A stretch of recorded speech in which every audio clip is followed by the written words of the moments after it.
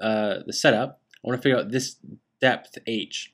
To do that, I'm going to be a little sneaky and I'm going to say that this distance from here to here we'll call x, which means the distance from here to here is 150 minus x. Thus, looking at this right angle triangle over here, I see that sine of 60 is equal to, actually I don't want sine, I'm going to do tan, sorry.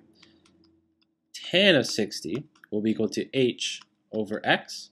In other words, sort of cross multiplying twice here, x will equal to h over tan 60. And now I'm going to do here tan of 54. So that's, that's just one equation over here.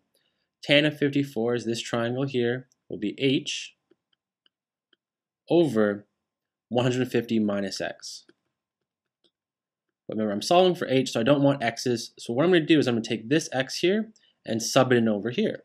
So I get h over 150 minus, now x is h over 60.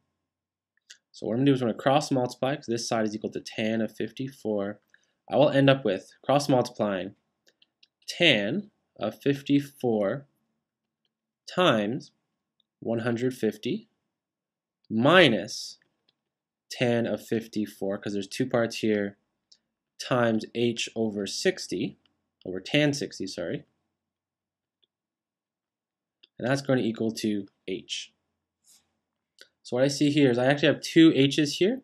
So I'll bring this term over to the other side, which gives me tan 54 times 150 will be equal to, now I have h, and this comes over here, plus tan 54 over tan 60 times h.